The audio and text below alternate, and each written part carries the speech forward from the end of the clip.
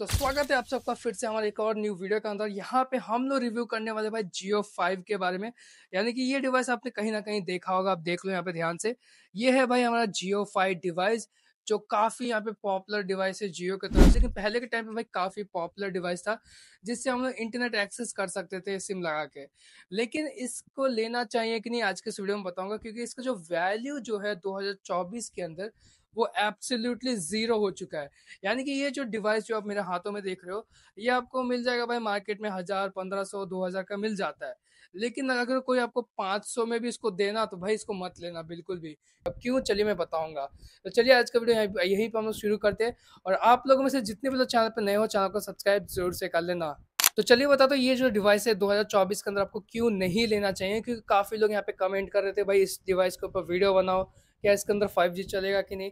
सब कुछ आज के वीडियो में सारे जो डाउट है आपके मैं यहाँ पे क्लियर करने वाला चलिए वीडियो को शुरू करते हैं। सबसे पहली चीज़ जो यहाँ पे ज़्यादातर लोग पूछते हैं कि इसके अंदर क्या दूसरा कोई रिचार्ज आता है? यानी कि जियो फाई के लिए कोई दूसरा टाइप का रिचार्ज करवाना पड़ेगा, जिसके अंदर आपको अनलिमिटेड डेटा मिलेगा। तो मैं बता दूँ भाई, ऐसा कुछ भी नहीं है। जो आप फ़ोन में आप रिचार्ज करवाते हो, जैसे कि टू नाइन्टी नाइन का रिचार्ज हो गया थ्री फोर्टी नाइन का रिचार्ज हो गया, यही सेम रिचार्ज इसके अंदर भी करवाना होता है। इसके अंदर कोई भी अलग सा रिचार्ज नहीं होता। इसके अंदर भी सेम वही आपका फ़ोन वाला रिचार्ज काम करता है। और साथ में इसके अंदर एक सिम डालती है, जियो की सिम ये जो सिम है, आप अपना फ़ोन वाला सिम भी निकाल के डाल सकते हो।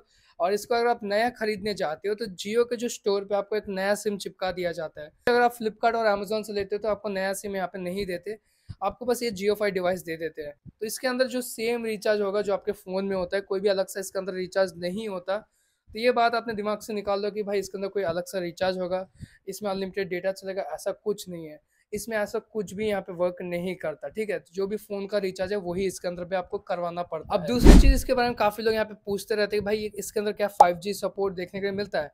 मैं बता दूँ भाई इसके अंदर कोई भी फाइव सपोर्ट देखने के लिए नहीं मिलता। अब ऐसा इसलिए क्योंकि ये जो डिवाइस है खुद लॉन्च हुए इसके भाई पाँच से छः साल हो चुके हैं। ये लॉन्च हुआ था भाई 2016-17 के अंदर। Uh, मैंने इसको लिया 2021 के अंदर मैंने ख़रीदा था। मेरा पर्सनल एक्सपीरियंस अभी शेयर करूँगा। तो इसके अंदर आपको कोई भी यहाँ पे 5G का सपोर्ट देखने के लिए नहीं मिलता। सिर्फ़ 4G ही इसके अंदर चलता है वो भी जियो का। यानी कि जियो का 4G ही चलेगा। अगर आप इसके अंदर एयरटेल वी या फिर बी यूज़ करने की सोच रहे हो तो बिल्कुल भी मत सोचना। इसके अंदर बिल्कुल भी नहीं चलेगा कोई भी अदर सिम कार्ड सिर्फ़ जियो का सिम कार्ड इसके अंदर चलेगा। तो अगर आपके पास जियो का सिम कार्ड ऑलरेडी है तो इसके अंदर आप चला सकते हो। तो चलिए अब हम लोग बात करते हैं, भाई इसको क्यों ही लेना, जब इसके अंदर ना ही फाइव चलता है, ना ही अनलिमिटेड डेटा चलता है तो इसको लेने का फ़ायदा ही क्या है? तो मैं बता दूँ, ये उनके लिए यूज़फुल हो सकता है, जिनके एरिया में नेटवर्क का प्रॉब्लम है।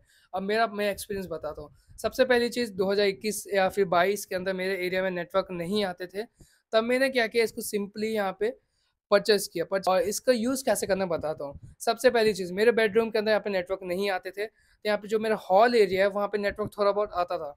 तो मैंने क्या किया, इसके अंदर सिम डाला अपना। सिम डालने के बाद मेरे हॉल के पास एक खिड़की है, वहाँ पे इसको मैं रख दिया।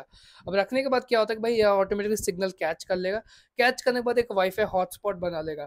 तो उस हॉटस्पॉट पे मैं कनेक्ट हो जाता था, जिसकी मदद से मुझे यहाँ पे इंटरनेट भी मिल जाती थी और साथ में मैं कॉलिंग भी कर पाता था, क्योंकि इसके साथ आप कॉलिंग भी कर सकते हो।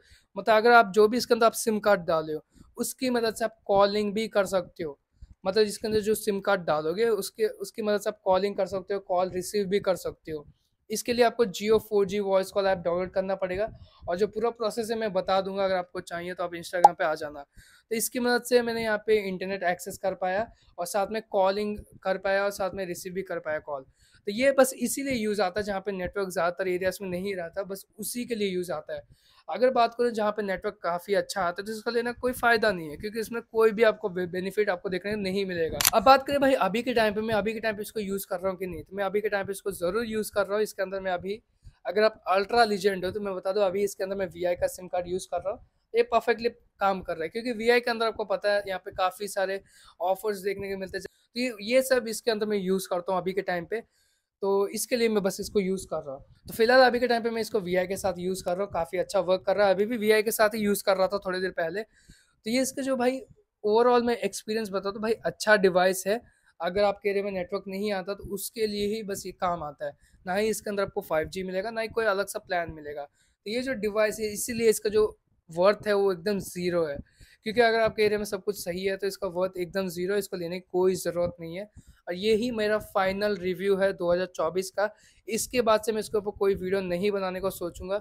और कोई कुछ ऐसा इमरजेंसी पड़ा तभी इसके ऊपर वीडियो बनाएँगे। तो बस यही था आज के वीडियो में। आई होप आपको पसंद आया होगा। और भी कोई डाउट हो इसके बारे में तो आप कमेंट सेक्शन में कमेंट ज़रूर कर देना। फिर मिलते हैं कौन साथ। तब तक जय हिंद, जय भारत।